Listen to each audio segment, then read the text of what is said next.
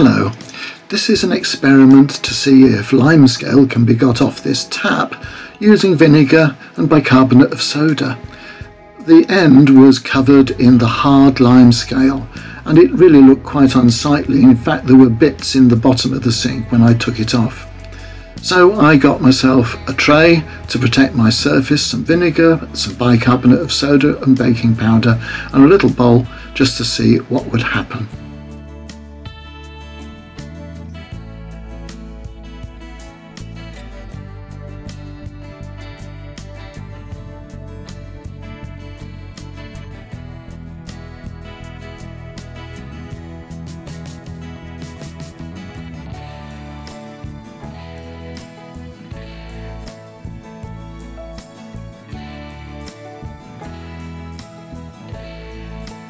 In it goes. And I'm just going to leave it for a short while and observe what happens. After about five minutes, the fizzing seems to calm down and some of the lighter lime scale has already gone after just a few minutes soaking. I then had to go out shopping and two hours later I came back to find really very little change so possibly the soak was unnecessary.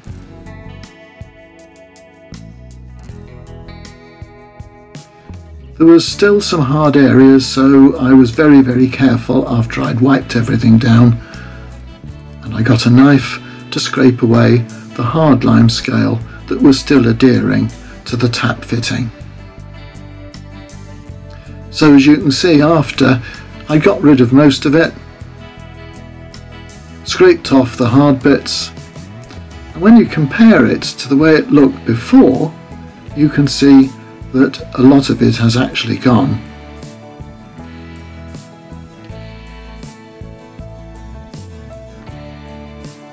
Thanks very much for watching. I hope this might help. Please subscribe. Your comments will be very welcome. Bye for now from Brizen Reviews and John.